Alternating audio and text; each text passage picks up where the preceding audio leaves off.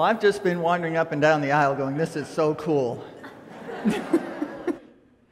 I can see your faces, and I don't have that plastic shield between me and thee, and it's, it's just, huh, it's so nice.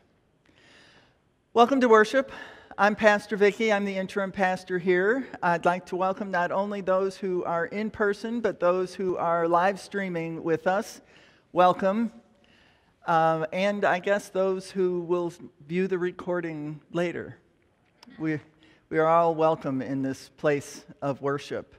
Um, I don't know how many of you are science geeks, but I am. And I heard that the Voyager had just passed into the space in between solar systems which is just so cool. It's been out there for 40, 44 years? Yes, 44 years. It's over 14 billion miles away from Earth, which somebody in the 9 o'clock service told me was, I guess, a fellow science geek, 0.24 light years. Something in that order. So that's, to me, that's just so exciting. And what's also exciting is that it's, Voyager has sent back the sound of what that space is like. And it's like a gentle hum and a little bit like the patter of rain. And, he said, and uh, an astronomy professor at Cornell, who I guess has heard this, said the interstellar medium is like a quiet or gentle rain. In the case of a solar outburst, it's like detecting a lightning burst in a thunderstorm and then it's back to a gentle rain. That is just, God's creation is just so amazing and, and awesome that I, I just have a hard time comprehending it. Um, but back to earth. we, we have our semi annual meeting after worship today. So if after worship you would get up, maybe stretch your legs a little bit, go on back and sign in to the um, semi-annual meeting, that would be helpful. Uh, we, we're pretty sure we're going to have a quorum between the in-person and online uh, registrations. So we will be able, we should be able to actually conduct business. And there is, there are a few items of business to conduct. Um, that is about all I had, other than to note that because of the uh, relaxing of restrictions, not only are we able to worship without masks on, but we don't have to wait for the ushers to dismiss by rows. So that would be kind of nice to be able to turn around and talk to the person behind you or three rows back that you just realized was here or something along that line. So we are, we are grateful for the science that is, has allowed us to, to gather. So now, let us compose ourselves for worship.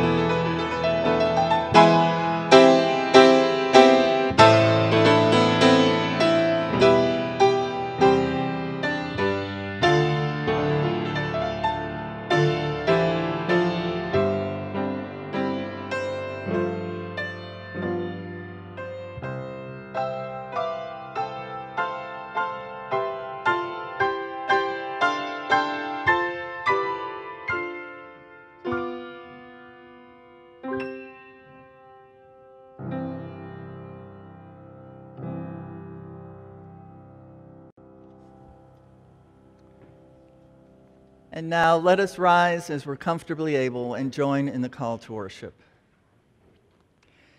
Jesus said, I go and prepare a place for you, and I will come again.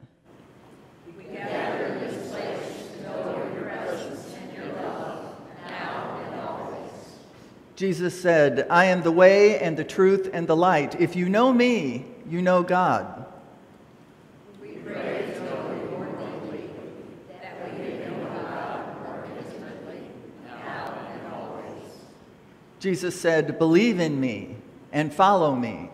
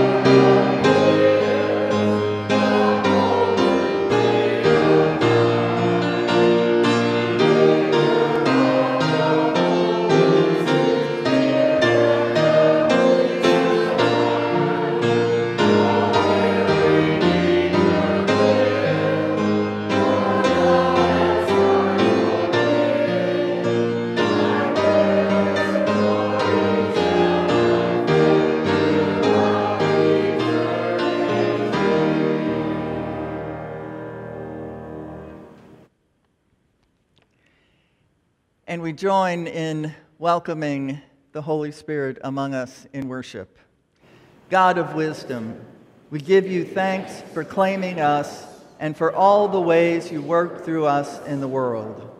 We give you thanks for the ways in which your word continues. On your best days, we feel the joy of your work completed in us. On our worst days, we know you are still there. Be with us in our worship today as we give you thanks for the miracle of being human and being alive, for the miracle of learning and growing into love for all of your creation. Amen. Please be seated.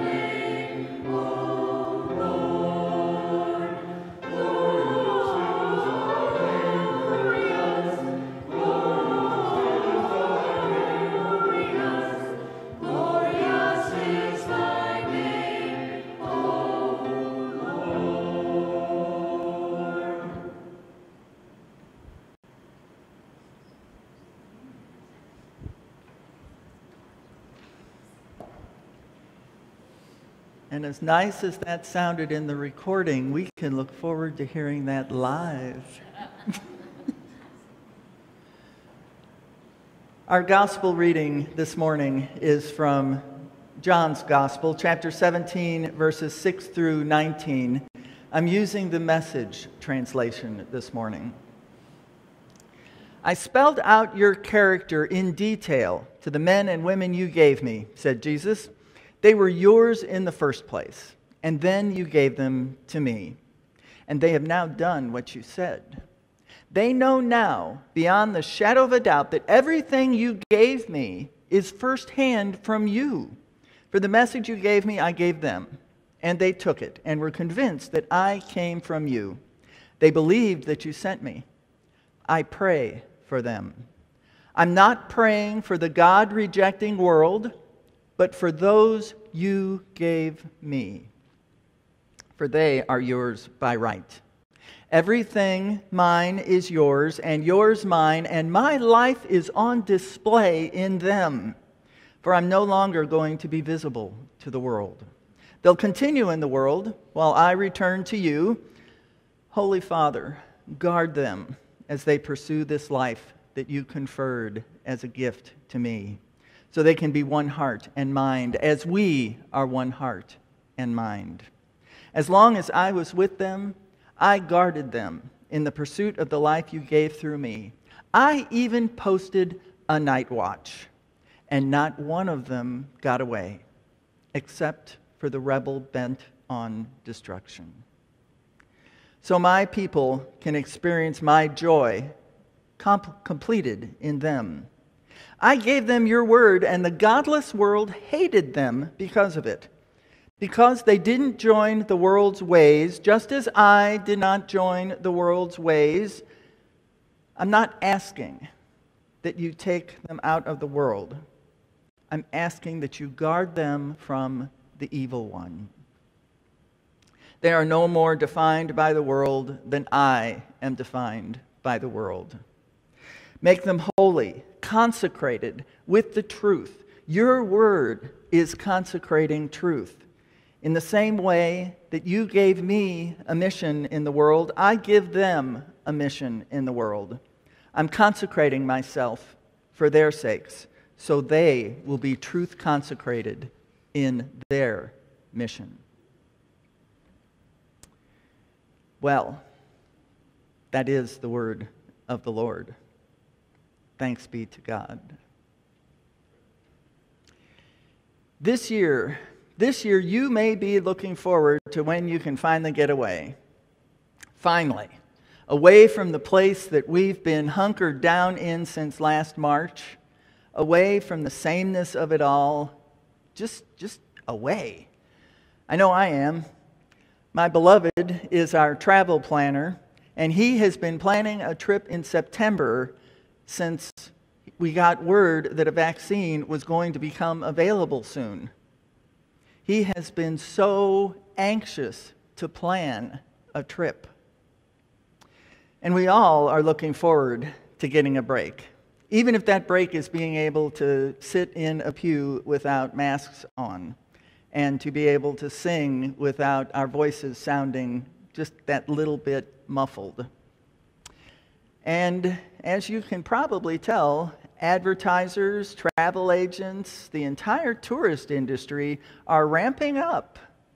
Their ads are showing beaches, luxurious cruise ships, glorious sunsets, and destinations that promise that no matter where we go, it won't be like home. It won't have the pressures, the anxieties, the complicated relationships, the walls, that are part and parcel of our homes. Life, life will be easy. Well, okay. We know life doesn't work that way. There are some of us who end up working harder than ever since there are some jobs that depend on warmer weather. I think of the saying, make hay while the sun shines. Then there's the fact that for me, at least, I'm always kind of glad to get home. Sure, there's laundry and there's grocery shopping and there's all the little stuff that you have to do to welcome yourself back into your home. But if it's, a been a, if it's been a good trip, I've brought something back with me. I've brought something back that fed my soul. The journey of faith is like that. Well, except for the glitzy ads. And of course, there is no promise that life is going to be easy because we know that life does not work that way.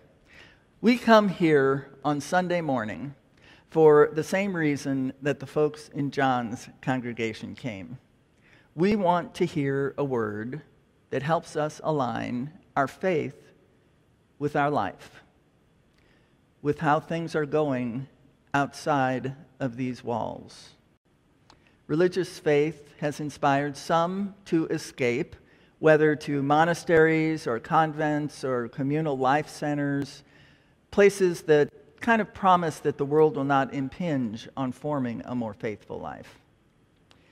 However, it's inspired others to go out and share the news with the world. The gospel, the gospel writers' congregation, John's congregation, would certainly have felt that need to escape. Things were tense, to say the least, in Jerusalem around 100 years after Jesus' crucifixion. The temple had been destroyed, the Romans were firmly in charge, and those who followed Jesus' way had been evicted from their home synagogues. This would seem to be a good time to retreat from the public eye. And when we look at today's news, it might also feel like a good time to retreat, whether it's on vacation or in our homes or just in our souls. India is in the grip of a COVID pandemic like we did not even see here. Israel and Palestine's endless war is reigniting. We can go maskless, but it depends on us being vaccinated. And it doesn't really take into account that younger population who can't receive the vaccine yet. So there are very real reasons for anxiety. But this is when Jesus doubles down, which makes now a good time to recall that prayer for his disciples and for us as we follow him. If we listen closely, this is really very sweet traveling music. The themes of Jesus' ministry are all there. Jesus told the disciples about God's character, and they believed. Jesus guarded them as a shepherd does, posting a night watch and only one got away. We even hear an echo of the Lord's Prayer as Jesus asks God to guard them from the evil one. Sent, continue, pursue, mission. These are moving on words. Words that tell us that we're not intended to sit on the sidelines, even if the world hates the truth the truth that is firsthand from God, that God is a God of love who commands us to truly love our neighbor. This is the drumbeat of Scripture, my friends. This is the traveling music. And in this ever more closely connected world, it's hard to love a neighbor that's a continent away, and sometimes it's hard to love the neighbor who's right across our fence but we are called to love them anyway. We also hear the truth that we are supposed to live in the world and participate in it, and yet we are not supposed to allow ourselves to be defined by it. And that, that is probably the hardest one of all. As we think about how easy it is to fall into the trap of living into someone else's image of what we should be or going along with the group because we think we might need their approval. We hear the truth that the world believes in scarcity rather than abundance. And that makes it hard to believe that a rising tide lifts all boats, rather than believe that some boats need to be put down in order for ours to rise. And this is what happens to the rebel who is bent on destruction Judas, who got away even though Jesus posted that night guard. Judas, who refused to hear that sweet traveling music that Jesus was playing because the risk was just too great. None of the Gospels tell us why Judas betrayed Jesus. We're left to try to figure that out on our own. Maybe, maybe it was for the money, but I'm not, I don't really think so. That thread does run through the Gospels, though, as Jesus talks about money a lot. Judas was the treasurer. He objected to the amount of money that was spent on the oil that anointed Jesus' feet. And he did take those 30 pieces of silver that he was offered. So maybe he did buy into the fear of scarcity and the need for financial security.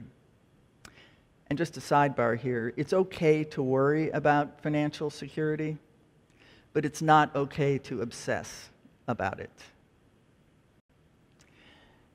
Maybe Judas felt the fear of the crowds, and maybe he realized that Jesus was not that warrior Messiah that the zealots were hoping for. Or perhaps, just maybe, it was fear. We all fear something, and the risk of confronting those fears is all too real. We may have to change our minds, or we may have to confront someone in an uncomfortable situation. And Jesus, we hear that Jesus prays for his remaining disciples those who have changed their minds. Matthew, the tax collector, and Simon the zealot come to mind. So, as we embark on whatever we end up doing this summer, as we take a break for our normal routine, let's remember the risks. The risks of going somewhere we've never been and meeting people who live lives different from ours. The risk of change. The risk that even if we stay at home, Jesus really does call us to something different with his traveling music, his invitation for us to journey with him. And let's also remember that he prays for us. He prays, I'm not asking that you take them out of the world, but protect them from the evil one.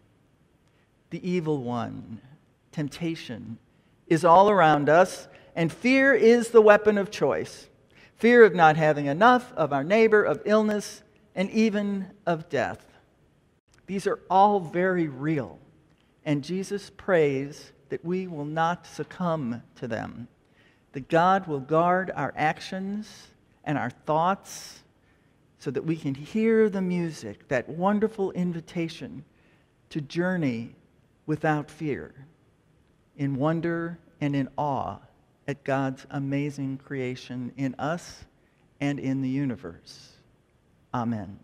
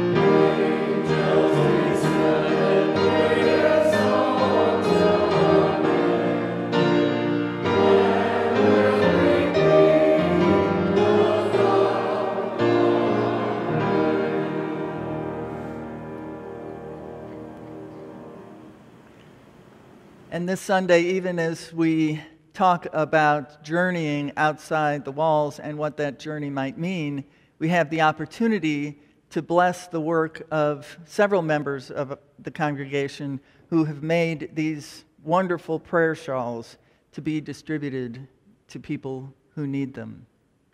Let us pray. From small seeds come great trees with vast branches that offer covering and comfort to God's creatures.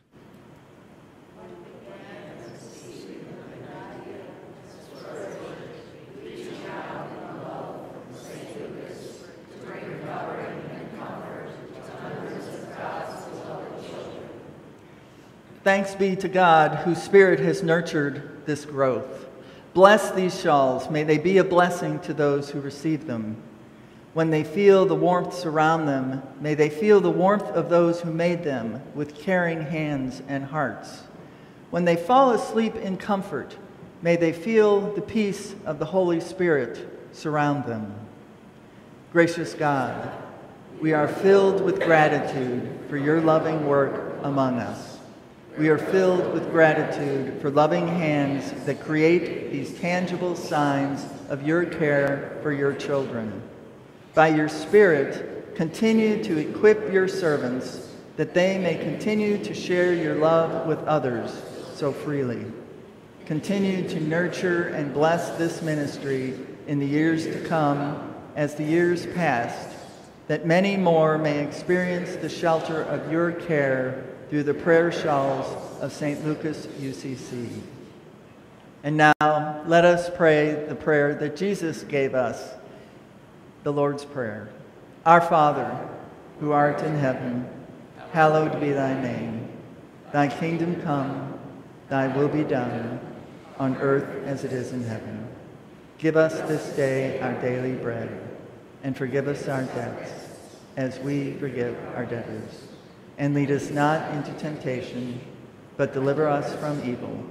For thine is the kingdom, and the power, and the glory forever. Amen. And now, as we have blessed the tangible gifts of those who crocheted or knitted these wonderful shawls, let us also bless the tangible gifts that we give of ourselves. We have tasted of the Lord's goodness. Help us to be living vessels of God's sweet, sweet Spirit, offering ourselves, our lives, and our gifts to those who are most in need of Christ's healing mercy.